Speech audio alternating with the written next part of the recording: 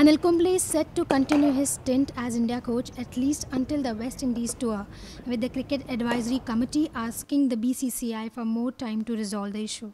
The panel comprising Sachin Tendulkar, Sourav Ganguly and VVS Lakshman have called for more time to resolve the issue between the coach and the players. This comes after a more than two hours meeting with BCCI CEO Rahul Johri in London, where the panel asked the board to give them more time to think over the issue. It is understood members of the CAC have also had separate conversation with Kumble and Kohli. A decision on Kumble is now expected to be taken at the BCCI's AGM on June 26th.